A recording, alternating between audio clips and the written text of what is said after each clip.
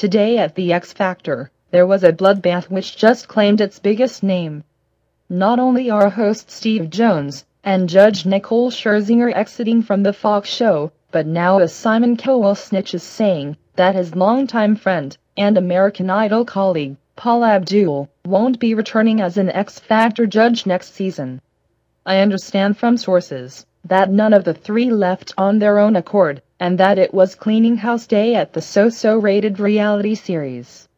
It'll be interesting to see if there's any backlash against Simon because of Paula's popularity. I missed her the second she left Idol, Cowell conceded at the time. Always loved working with her, even though she can be a pain. I don't know what it is about her, but I've always clicked with her. You just have to get that chemistry, and she's right.